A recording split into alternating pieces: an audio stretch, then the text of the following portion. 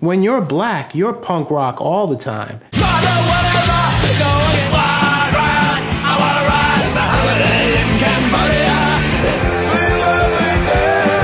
And that is the sound of punk.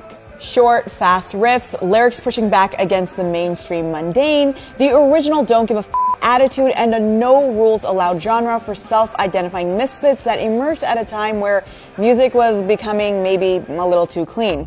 But punks, or at least as I saw it growing up, rarely looked like anything other than these guys.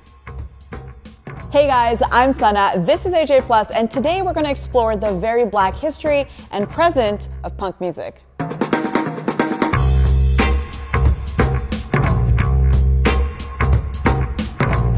Now, there was a decent amount of women who led the movement Patti Smith, Joan Jett, Debbie Harry, and Siouxsie Sioux, and they all got major recognition. But black or Latino or any other shade of punk, not really. That doesn't sound weird if you've been taught the history of punk as something that emerged from the working class angst of young white English men. Think the Sex Pistols and The Clash. But it is weird when you dig a bit deeper into the history of punk and find that black and brown punks actually pioneered the movement. Now, the most popular black American punk band is probably Bad Brains. But first, I want to talk about Death, the guys who helped pioneer punk without even trying or knowing. Death was the three Hackney brothers from Detroit. Their music is what's been called proto punk. Punk before we knew punk was punk.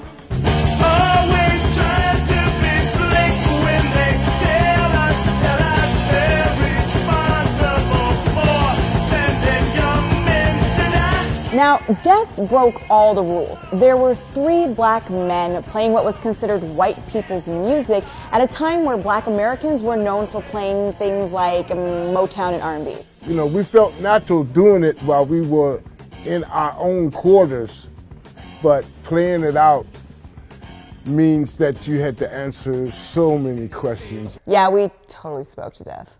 Now, the Hackney brothers did start off by playing like R&B. In fact, their band was originally called Rock Fire Funk Express. But by 1973, they started playing rock and roll. But we were just playing hard driving rock and roll, man. We were just really trying to be like the groups of the day that we love, like the MC5 and Alice Cooper and all those great rock and roll bands of the 70s. We were really, you know, just kind of, you know, springboarding off of the sound that they was laying down. But we, we were just doing it harder, faster, and louder. Despite their raw sound and unique and intimidating name, which by the way was totally ahead of its time, they didn't last long as a band. They just didn't get the distribution that they needed, with some record labels worried about how to market their name and their sound.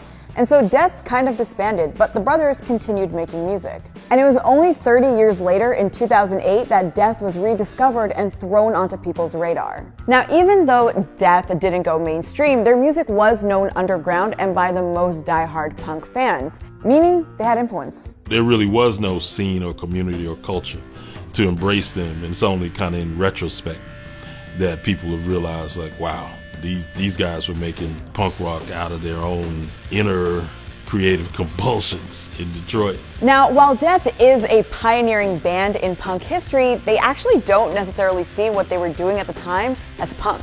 In fact, just plain old rock and roll. We never really considered ourselves a punk band. I mean, back then, if you called somebody a punk, you know, you got into a fight. We were playing what we conceived as hard driving Detroit rock and roll, man. It's also important to note, as writer and musician Greg Tate told me, the difference in how white and black musicians in the same genre were marketed and how that had an impact on who got the credit and who got the fame. The American music business is made up of gatekeepers on the corporate side, on the radio side. They very much subscribe to the Jim Crow notions of uh, racial separation and segregation which defined American culture throughout, you know, most of the 20th century. It meant that black artists, you know, historically for most of the 20th century, couldn't make as much money playing their own music, didn't have access to the same audiences, you know, the same opportunities. Now, in the 70s, there was another black punk band that really changed the scene. Bad Brains, considered one of the most influential punk bands ever. When they do wrong, go the other way. The group formed in 1976 in Washington, D.C., getting its name from a Ramones song.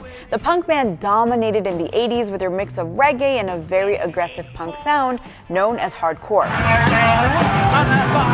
In fact, they, along with Minor Threat and Black Flag, are considered the pioneers of hardcore, which is a genre of punk which is, well, pretty damn fast. And DC was hardcore's mecca and also one of the most long term influential punk scenes. And there were also other black punk bands like Pure Hell, Fishbone, and the UK's X Ray Spex, whose lead vocalist was a woman. It's worth noting that these bands weren't segregated to some black punk category. They influenced other bands and vice versa. Take reggae, for example. Numerous white punk bands used reggae in their music in the UK throughout the 70s, inspired by black punk bands' use of it. In my conversation with Tate, he mentioned how this idea that rock or punk as a all white boys club didn't really exist in the UK. Black and brown punks were heavily influencing the scene. Under the Thatcher government, there was a lot of disenfranchisement of you know, white working class youth, you know, who were non-racist or anti-racist. They kind of found their voice and their militancy through the political actions and the music of their black and South Asian born classmates, you know, and uh, neighbors. And just like their British counterparts, American punks were also really influenced by politics. Whether U.S. wars in Cambodia and Vietnam in the 70s, or, well, Ronald Reagan's whole presidency throughout the 80s. But punk, especially black punk, isn't a thing of the past. It's still a live, budding cultural movement today. I realized that, like, not only is rock and roll something that is native to people like myself and to Honeychild, but it's it's almost like my birthright. That's Honeychild Coleman and Sasha Jenkins of the punk band trio, the 1865. And yes, their name is referencing exactly what you think it's referencing. The 1865 references America in 1865 when the Emancipation Proclamation brought a lot of promise of change for black Americans, except the racists had other plans. Soon after, organizations like the Ku Klux Klan and other groups who weren't really fans of people like myself and this young lady uh, got together and kind of made it their business to get in our business and make it hard for us to uh, to live in America. And so you look at the climate of where we are now, I don't want to necessarily be so literal, but it feels like the same kinds of sentiments. The 1865 makes music that looks at 1865 America from the lens of a runaway slave, a white Southern soldier, a slave owner who felt no guilt. The trio is part of a still growing and very visible black presence in the punk scene, something that was highlighted in the 2003 documentary Afropunk. The documentary really explored trials and good times faced by black youth who were an intimate part of a cultural scene that has always been seen as white by outsiders. The film ended up inspiring a bigger cultural movement, including a festival started in 2005 by the same name. The Afro Punk Festival, which was started in Brooklyn and now is international, basically is about celebrating black artists, black creatives, and black fans in the alternative scene. Honeychild Coleman, Sasha Jenkins, and Shawna Shawnté, who runs a Black Brown Punk Festival in Oakland, all say that there's nothing more punk than being black in America. I'm not saying black people created punk rock. I'm saying we are punk rock without even trying. The foundations of what people do that creates punk culture, say going on tour, booking your own tour through a like underground network, that's what black musicians had to do because we weren't allowed to play in clubs. When we have been um, pushed to the margins, but we create in those margins, and that's like it doesn't get more punk than that. I knew that it was my legacy, and I never. Um, I never believed anyone who told me I was trying to be white because I love rock and I love guitars. But even though they all agree that there's nothing more punk than being black, they also raise the point of how different the experience is of being either white or black in the punk scene. When you're black, you're punk rock all the time. You're a target all the time. And I can't change the color of my skin. There is a level of privilege that goes with I'm gonna put a safety pin through my nose and paint my hair, dye my hair green for three years, and then I'm gonna clean up and put on a suit and get a corporate job. We don't really have that luxury. You also get uh, cred for having punk years.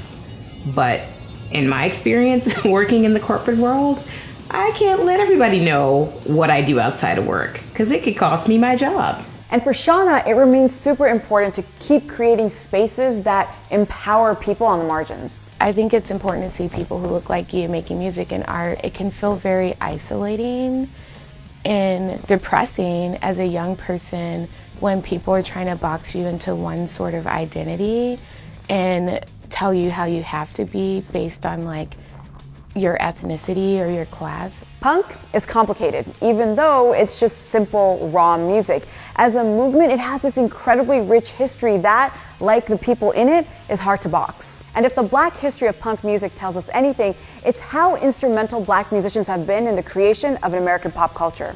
Life changing interview. Mm-hmm. And then Sasha smashes the guitar through the door. Right. Hey guys, so we actually filmed this piece at 924 Gilman, which is the CBGB of the West Coast. And if you don't know what CBGB is, you should definitely look that up. Let us know what are some of the punk bands that you grew up listening to. And don't forget to like, share, and subscribe, and keep it punk.